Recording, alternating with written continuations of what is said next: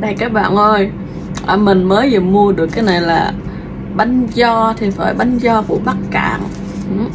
Thì ở trong này là có mùi cây như vậy mình mua là 25 đô các bạn ha. Vậy là mình sẽ ăn thử ha. Nó sẽ đi chung với lại à, mật mía. Mật mía giống như là cái chai cái gì mà thuốc hồi nhỏ mình nhớ mình à,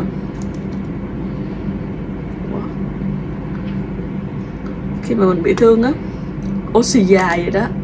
Như là vậy. Mình, mình sẽ mở vậy luôn đi. Ừ. bây giờ thì bắt đầu mời các bạn nha. Mình tưởng mình không biết cái này là nó sẽ ăn nóng hay là ăn nguội nữa. Cái này thì à, nó nguội các bạn nha.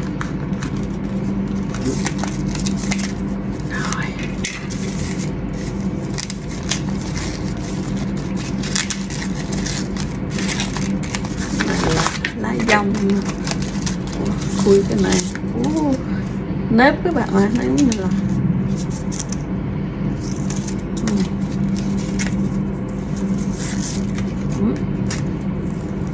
wow nhìn đẹp ha.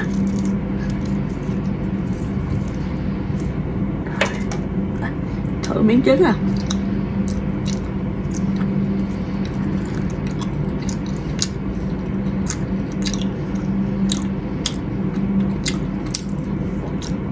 ừ, rất là dẻo nó sẽ um, gần như là nhạt các bạn ơi không có vị ừ. Tốt không?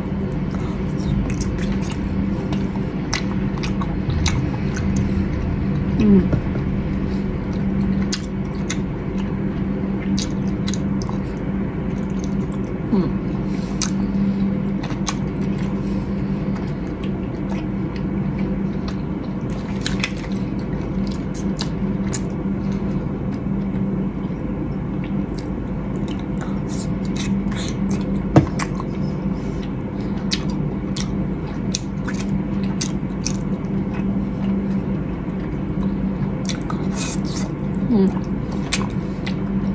Ừ.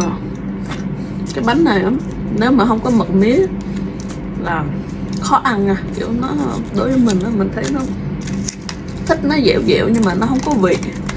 Nên là nếu mà không có mật mía là sẽ không có cảm thấy ngon đâu. Mà có mật mía vô thì nó lại khác hoàn toàn luôn.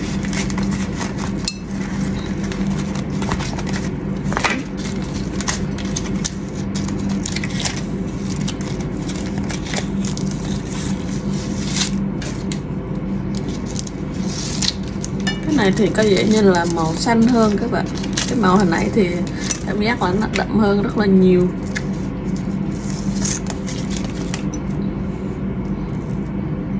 Cái này mình mua của ờ, Quỳnh Quyên các bạn nha. Bạn có thể kiếm uh, Facebook của Quỳnh Quyên. Quỳnh Quyên thì uh, chung là về bán đồ ăn thì mình thấy tôi tôi chắc là gần như là ai cũng biết. Bán ở nhà thôi.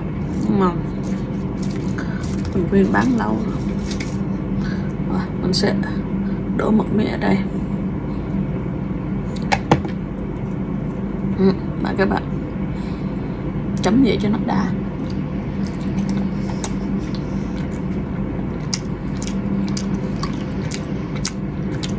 ừ.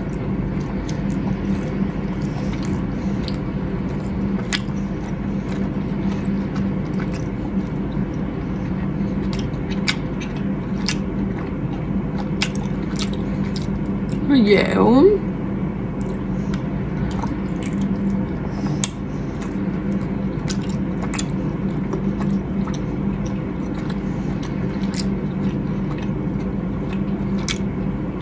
rất là dẻo luôn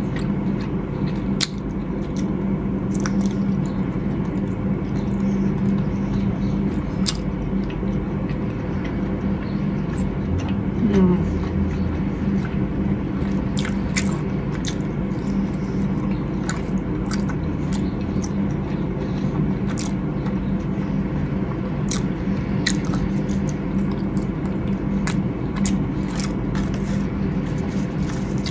ăn này là no luôn nha.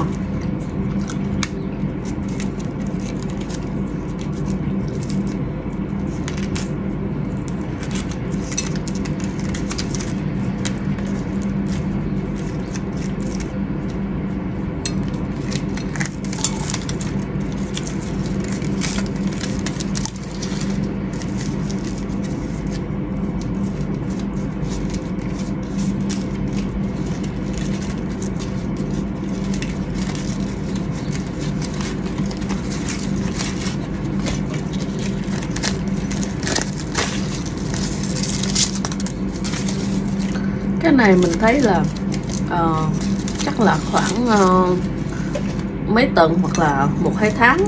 Mình không nhớ chính xác nữa là mình thấy nó rất là nổi luôn. Các bạn ơi mà mình cũng không bao giờ nghĩ tới chuyện là mình sẽ ăn được tại uh, mình không nghĩ là có ai uh, đem qua Canada cho mình. Rất là dẻo.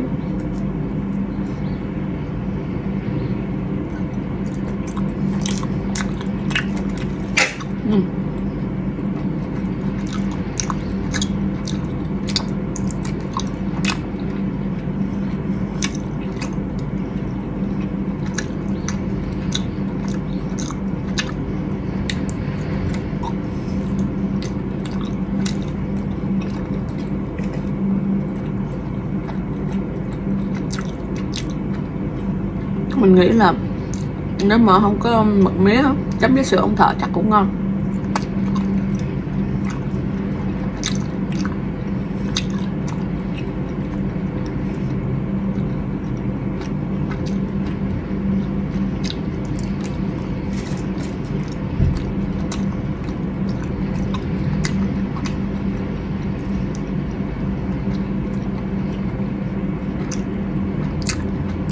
ừ, ngon ngọt.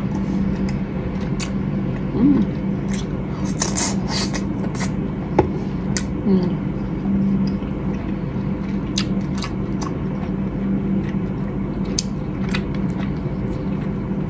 Ăn nó dẻo dẻo mà. Nhưng mà mình thấy là nếu mà ăn một mình đó là không ổn, đối với mình. Có mực mía thì nó mới ngon các bạn. Ừ. không. Được các bạn ơi. À, có nhiều món các bạn nhiều khi các bạn thích hoặc là nó trending nhiều người à, ăn cảm thấy ngon nhưng mà đối với mình mình lại khó khó ăn. Các bạn mình hơi khó khó ăn các bạn. À, đợt vừa rồi á mình đi ăn sushi các bạn ngoài có một tiệm mà đó giờ mình không có không có ăn cá sống mà. Đợt vừa rồi đi ăn sushi mà ăn cảm giác rất là ngon luôn. Nên thành ra chắc là mình sẽ à, thử ăn sushi, sashimi á. Mấy cái cá salmon này kia mình sẽ thử, ăn thử. Ăn một lần cái kiền bye các bạn nha.